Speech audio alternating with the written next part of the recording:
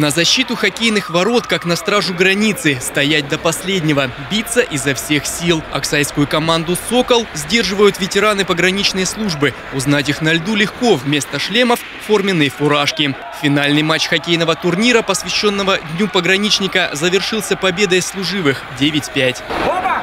Это первая шайба пограничников забита. Подарена ей.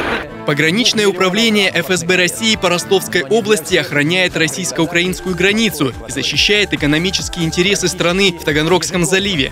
Более 70 миллионов рублей было возвращено государству денежных средств по административным штрафам.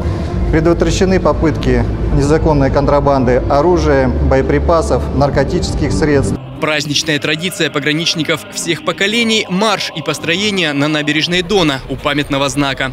Эта традиция у нас уже много лет, если мне не изменяет память, это где-то лет 20. Именно на набережной. Сначала собирались э, на вечном огне, потом перешли сюда. Ветераны службы, их семьи и друзья вспоминают годы бессонных дежурств, а нынешние пограничники, как и старшие товарищи, уверяют, граница на замке. Сергей Мирошниченко, Александр Чалый, Анна Туполева на Дону.